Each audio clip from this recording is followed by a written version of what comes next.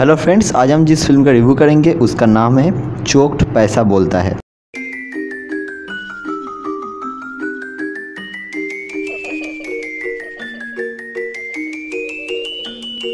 इस फ़िल्म को डायरेक्ट किया है अनुराग कश्यप ने, और ये नेटफ्लिक्स का ओरिजिनल फ़िल्म है। शुरू में मैं बता दूँ कि ये जो फ़िल्म है, इसका ट्रेलर देख के आप समझेंगे कि इसका जो कॉन्सेप्ट है, ये बहुत ही अच्छा है। और इस फ़िल्म का स्टोरी का कॉन्सेप्ट यूनिक ही है।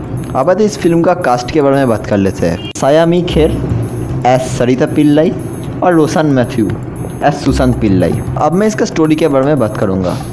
यहाँ पर आप देख सकते हैं सरिता पिल्लई जो बैंक में नौकरी करता है और उसका हस्बैंड सुशांत पिल्लई, जो एक अनएम्प्लॉयड आदमी है। मगर पहले तो उन दोनों के बीच पैसे लेके एडजस्टमेंट में बहुत प्रॉब्लम्स होता है। फिर उन दोनों के लाइफ पे टर्न्स तब आता है, जब सरिता को एक दिन रात पे अपने घर पे बेसिन के पाइप के अंदर से कुछ पैसे मिलने लगता है और ये सब चलते चलते एक दिन डिमोनिटाइजेशन हो जाता है। फिर उन दोनों के लाइफ पे क्या इफ़ेक्ट पड़ता है, इसके लिए तो आपको इस मूवी को पूरा देखना पड़ेगा। अब मैं इस फ़िल्म का एग्जीक्यूशन के बारे में बात करूँगा। इस फ़िल्म का एग्जीक्यूशन पे कुछ पॉजिटिव पॉइंट्स भी है नेगेटिव पॉइंट्स भी है। मैं उन दोनों पॉइंट्स के बारे में डिटेल्स में बात करूँगा। एक चीज़ जो मुझे बहुत ही अच्छा लगा कि इस फ़िल्म का स्टोरी में हमें कुछ नया चीज़ दिखाने का कोशिश किया गया है। मतलब इसका जो कॉन्सेप्ट है, ये नया है। और इस फ़िल्म में डिमोनिटाइजेशन का मतलब जिस टाइम डिमोनिटाइजेशन हुआ था, उस टाइम क्या क्या प्रॉब्लम्स हुआ था, आम आदमियों को किस तरीके का प्रॉब्लम्स को फेस करना पड़ा था, उसका एक झलक भी हम इस फ़िल्म पे देख सकते हैं। और इस फ़िल्म में जो मेन कैरेक्टर है, जो मेन कैरेक्टर का फैमिली है, वहाँ पे जो फैमिली प्रॉब्लम्स दिखाया गया है, वो बहुत रियलिटी का करीब लगा मुझे। मगर इस फ़िल्म में मुझे जो एक्सपेक्टेशन बहुत ज़्यादा था, वो इस फ़िल्म का थ्रिल का।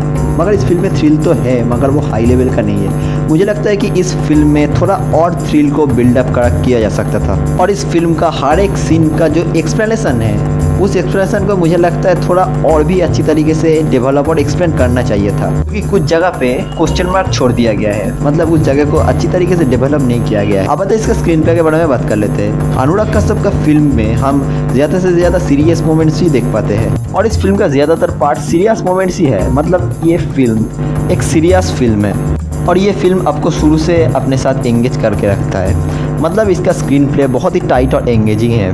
अगर आप कैरेक्टर्स का पॉइंट ऑफ़ व्यू से इस फ़िल्म को देखते हैं तो ये फ़िल्म आपको टाइट लगेगा और आप इस फ़िल्म पे बोर फील नहीं करेंगे। आता है इस फ़िल्म का कैरेक्टर डेवलपमेंट इस फ़िल्म में कैरेक्टर डेवलपमेंट में बहुत ही अच्छा काम किया गया है। इस फ़िल्म का जो मेन कैरेक्टर है, सरिता पिल्लाई और सुशांत पिल्लाई, इन दोनों के साथ आप शुरू से इमोशनली कनेक्टेड हो जाते हैं। और बाकी जो कैरेक्टर है, ये आपसे इमोशनली कनेक्शन बिल्ड नहीं कर पाता है। मगर ये जो कैरेक्टर है स्पेशली सरिता पिल्लाई, ये कैरेक्टर आपको बहुत ही अच्छा लगेगा।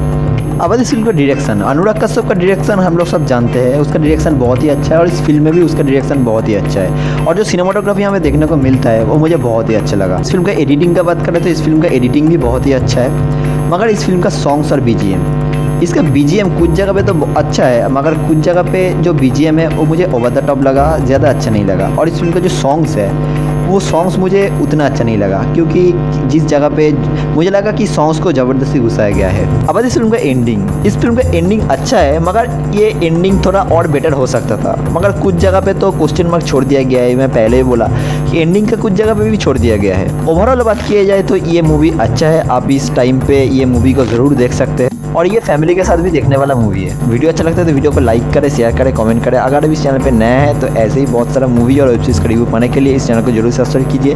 मिलते हैं अगले वीडियो में तब तक तो टेक केयर एंड जय हिंद।